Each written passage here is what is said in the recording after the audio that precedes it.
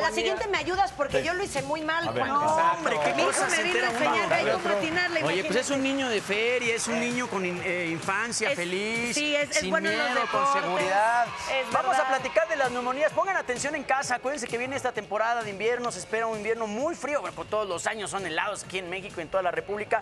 Y por eso hoy nos acompaña El el, doctor. Tomás Pulido para platicarnos. Bueno, vamos a revelar verdad o mito sobre muchas cosas de la neumonía. ¿Sale? Bienvenido. No, muchas gracias. Gracias Bienvenido, por, Tomás. Bienvenido. Gracias Pues, por invitarme. Sí, hay muchos mitos y realidades alrededor de la neumonía, así que empecemos. ¿Por qué, o mito realidad, que las infecciones respiratorias siempre provocan fiebre? Esto es un mito. No todas las infecciones provocan fiebre. De hecho, depende mucho de, las, depende mucho de la severidad de las infecciones y de si es una infección bacteriana o es una viral. Por ejemplo, el resfriado común no provoca fiebre. No, pero ya cuando te da una fiebre, ay, mamá, ¿no? Claro. De Claro. hecho, ya cuando alguien tiene, tiene fiebre, tiene síntomas de, de mayor gravedad, tienen que acudir con su médico. Exactamente, mucho ojo. Bueno, mito o realidad que todas las enfermedades respiratorias se tratan con antibióticos. Mito. Eh, las enfermedades que se tratan con, las, eh, con antibióticos son las, generalmente las infecciones bacterianas, no las virales. Y esto lo vimos mucho ahora en época de pandemia, en donde prácticamente mucha gente este, prescribió antibióticos. Entonces siempre tienen que ir con su médico también. Ok. Mito o realidad que si eres asmático eres más propenso a que te dé tos. La tos, bueno, mito, porque, porque no es que seas más propenso. El, el asma, de hecho, una de las manifestaciones cuando el asma no está controlada es La la, tos. tos.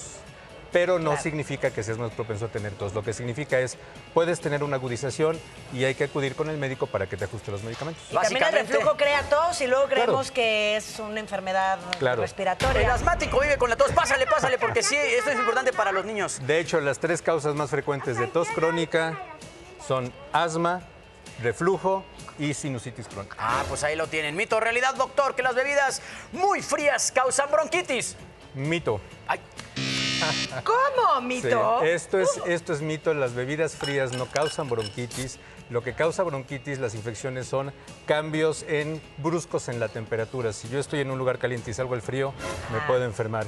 Pero básicamente una vez que ya tengo un cuadro gripal, el frío, o sea, el tomar bebidas frías no influye en nada. una frega de alcohol cuando también- tienes un cambio de, de clima. Sí, y también cuando hacemos ejercicio y salimos como desabrigados. Eso es muy importante. Eso es importante, cubrirse bien cuando uno está sudando y salir- sale al frío. Hoy, mito o realidad que si te dio COVID desarrollarás asma.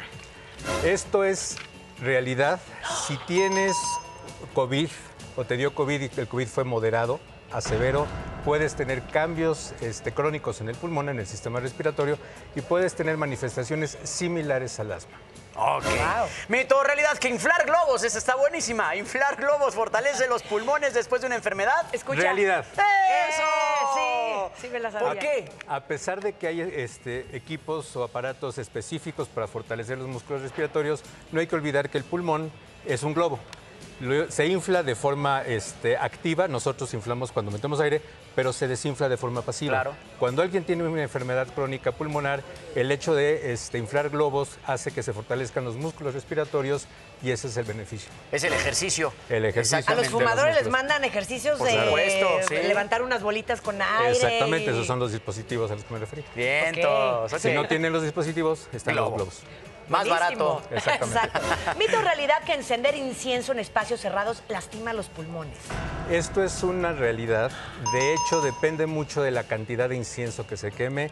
La recomendación es, si bien no va a afectar los pulmones como sería el humo del cigarro o el humo de leña, depende mucho de este, la cantidad de incienso y generalmente se recomienda que si uno presenta o va a prender incienso, lo haga en lugares ventilados.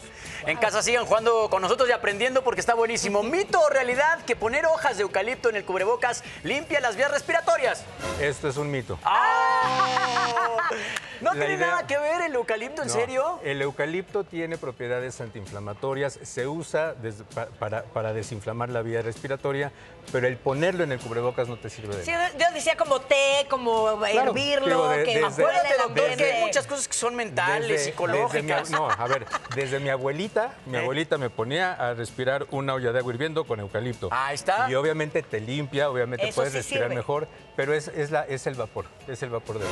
Ok. Ok, bueno, fallé, fallé, cualquiera puede fallar. Sí, huele rico además. Exacto. Te abre los pulmones. Oye, mito y real, o realidad que el té de ajo quita la tos severa. Mi mamá me lo daba siempre. A mí me, da- a mí me daban té de cebolla, pero bueno, esto es un mito también. Aquí lo importante es que si uno tiene tos severa, o sea, podemos utilizar todos los remedios caseros que tengamos, pero si es tos severa tienen que acudir con su médico porque nos puede hablar el síntoma de una enfermedad grave, neumonías, infecciones severas. Eso sí, no te muerde un vampiro ni, Ah, bueno, ni, ni, eso sí. ni en luna llena, Seguro. ni sin luna, Tenía que hablarle de ladito a todos, porque hijo, así Claro de... que Sí. A ver, vamos con esta que es la última. Mito o realidad, doctor, que la vacuna contra la influenza no evita que te enfermes. Esto es una realidad. Claro. El vacunarse contra la influenza lo que, lo que evita es que tengas una enfermedad grave, que no te vayas a una unidad de terapia intensiva y habitualmente las vacunas contra la influenza, lo, la influenza lo que hacen es reducir una enfermedad grave en un 23%. Más o menos con lo del COVID, ¿no?